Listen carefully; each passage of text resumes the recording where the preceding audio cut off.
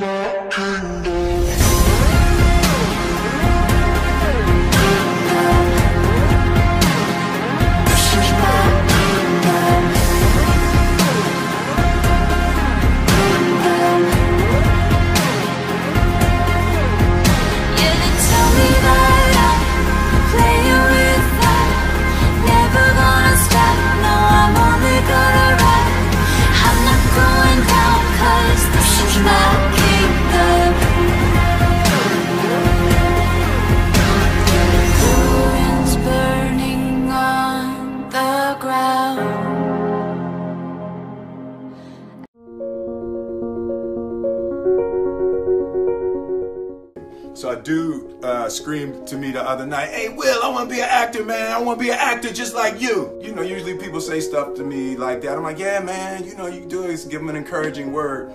But I was just sitting in here thinking, and it dawned on me: 99% of people that say stuff like that are not willing to do what it takes to make their dreams come true. The Marines have a saying: "Everybody wants to go to heaven, but nobody wants to die."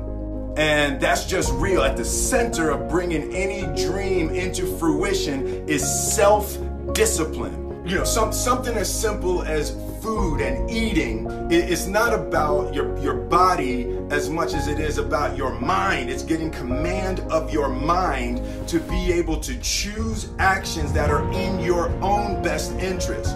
Every day, we are choosing shit that's not in our own best interest right? So if the world is attacking you and the world wants to fight you and the world's trying to hold you down, so you're gonna kick yourself in the balls?